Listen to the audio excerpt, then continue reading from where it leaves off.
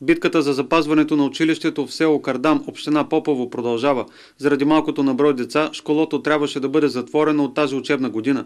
Но родителите подадоха жалба до Върховния административен съд, която стопира изпълнението на заповедта за закриване. 20 са учениците, посещаващи подготвеното за закриване школо.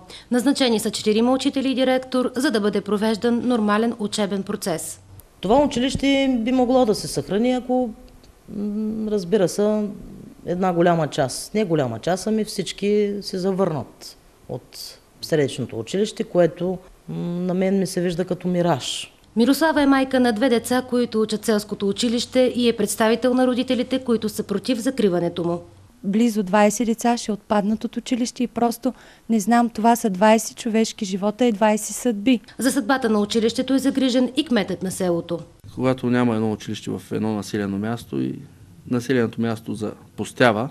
Ако бъде затворено, сградата остава необитаема, най-вероятно ще бъде разграбена, ще трябва да я охраняваме, но няма как, няма ресурс. Останалите да учат на село деца са разпределени в три паралелки и от първи клас са ученици в това училище. Ако затворят училището, няма да ходя. Защото тук са приятелите ми, селото е тук, всичко е тук. Всички детки познавам са тук, а там ще съм отчужден. Определението на Върховния административен съд по казуса е, че жалбата срещу заповедта за закриване е неоснователна и прекратява делото. Неправителствена организация обаче се закани, че ще обжалва решението.